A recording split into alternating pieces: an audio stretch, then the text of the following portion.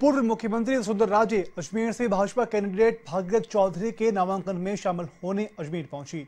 इसके बाद राजे ने चेटीचंड के अवसर पर झूलेलाल मंदिर पहुंचकर की धोख लगाई। यहाँ से राजे ने दरगाह शरीफ पहुंचकर के ख्वाजा गरीब नवाज़ के दर पर चादर पेश की।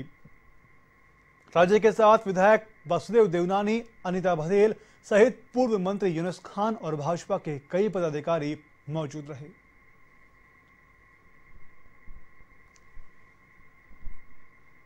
देश और दुनिया की हर छोटी बड़ी खबर के लिए सब्सक्राइब करें एवन टीवी न्यूज़ साथ ही बेल आइकन को प्रेस करें ताकि आप पा सकें ताज़ा खबरों की नोटिफिकेशन